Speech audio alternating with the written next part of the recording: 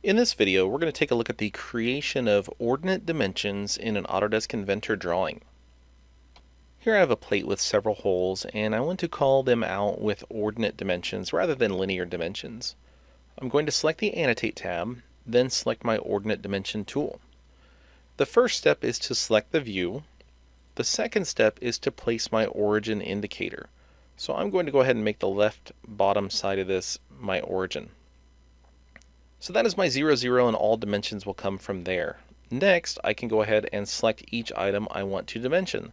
I'll start by creating a series of dimensions across the top. So I'll select the left side line, then each circle, and the right side line as well.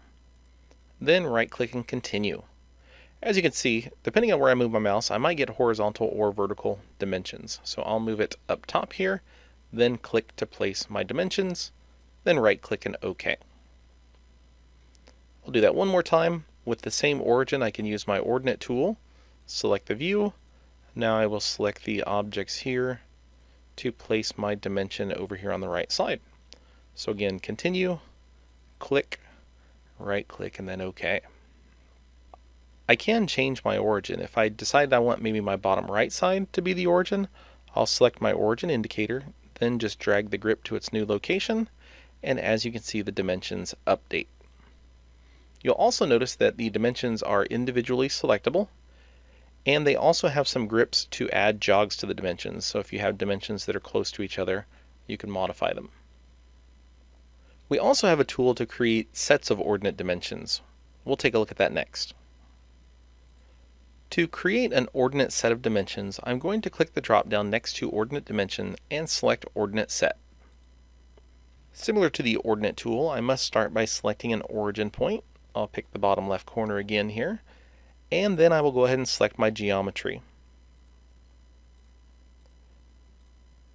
Then right click and continue. Once again, I can click to place my dimensions, then right click and create. So the tool itself works very similar. The big difference now is when I select the dimensions, you can see that it is one selectable object. Creating individual ordinate dimensions gives you more flexibility for modifying each one separately.